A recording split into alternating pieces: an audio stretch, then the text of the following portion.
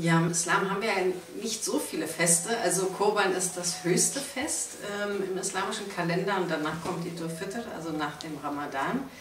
Und es bekräftigt ja nochmal ja, die Bindung zu Gott, die man persönlich hat oder gemeinschaftlich. Aber sie ist ja sehr stark mit einer der Säulen im Islam verbunden, nämlich mit der Hajj, mit der Pilgerreise. Und einen Tag vor dem Opferfest haben wir ja Arafat. Das ist der Haupttag der Hajj. Wenn man den verpasst hat, dann hat man leider auch keine Hajj vollzogen.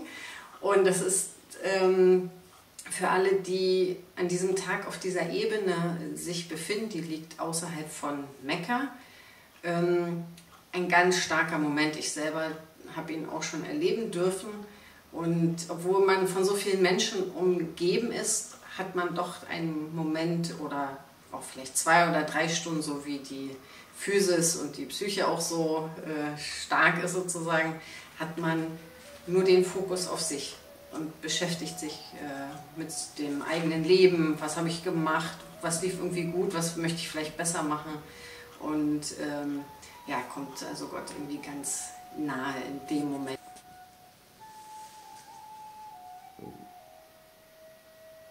Und für mich ist aber ganz persönlich das Eid-Gebet, also das Festgebet, eine sehr wichtige Größe an diesem Tag auf jeden Fall. Also morgens sich schon auf den Weg zu machen. Ähm, natürlich ist das bei mir mit einem gewissen Amt auch verbunden, weil ich die Vorsitzende bin vom Deutschen Muslimischen Zentrum. Das heißt, ich muss auch immer alle begrüßen und für alle auch da sein, ansprechbar sein, aber es ist auch etwas Schönes, sich in den Dienst von anderen auch zu stellen, indem man die Dinge vorbereitet, die Gebetsteppiche auslegt, das Buffet schon zurechtrückt ja, für das Essen danach. Und ähm, ja, mit den Menschen zusammenzukommen, die ich vielleicht nur ein, zwei Mal im Jahr sehe, aber genau zu diesem Tag und äh, mitkriege, wie geht es dem, was machen die? Und ja, mich einfach nochmal zu vergewissern, dass das schon richtig ist, wie ich so mache und wie ich lebe. Aber wie gesagt, eigentlich diese neun bis zehn Tage davor stärken das auch nochmal bis zum Opferfest hin. Also mich nochmal genauer damit zu beschäftigen, warum bin ich jetzt überhaupt Muslimin? Warum möchte ich muslimisch leben?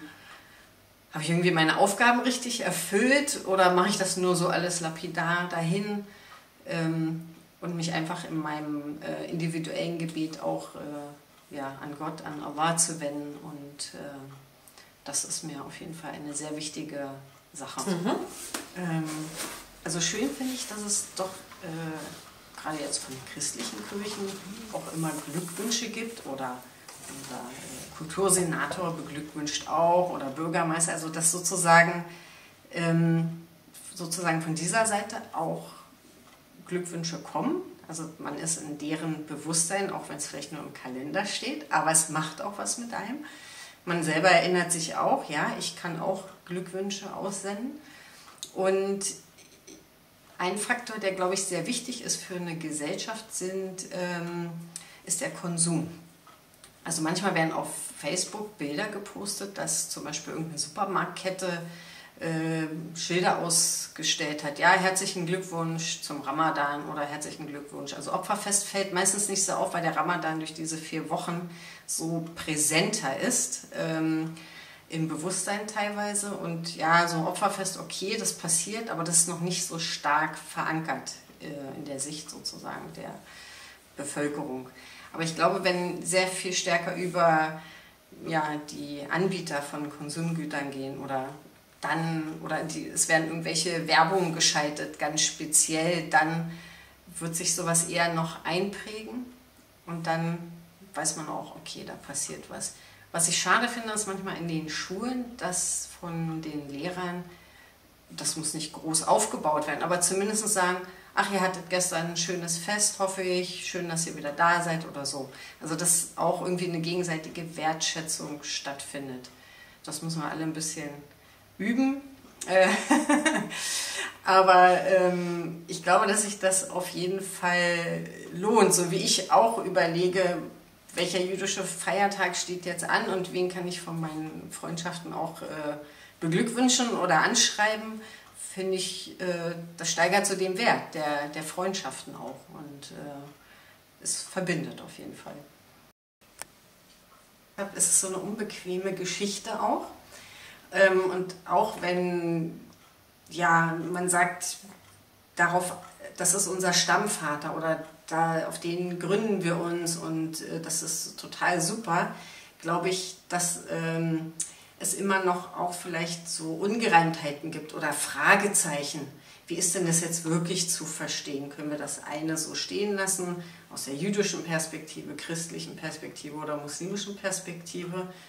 Und wo gucken wir vielleicht nach der Essenz, die in Abraham oder Ibrahim steckt und gerade der besonderen äh, Geschichte der Opferung äh, des Sohnes? Also das, glaube ich, kann noch viel mehr verbinden und auch die Freude hervorbringen, gerade dieses Fest zu praktizieren und ins Leben zu rufen, wenn man es interreligiös, also die drei Religionen sozusagen betrachtet. Das wäre eigentlich äh, sehr spannend, denn glaube, alles andere haben wir schon vielleicht sehr gut ausdiskutiert ähm, von den Schriften und so weiter. Aber was brauchen wir für das Hier und Jetzt, was uns durch solche Geschichten, äh, die äh, in der Tora, im Evangelium oder im Koran stehen, verbinden. Also was ist sozusagen das, was wir mitnehmen können und wo wir sagen, ja, es gibt Unbequemes, aber es gibt auch sehr viel, was uns sozusagen zusammenbringt oder ähm, uns mehr Möglichkeiten eröffnet, um auch Zukunft zu gestalten.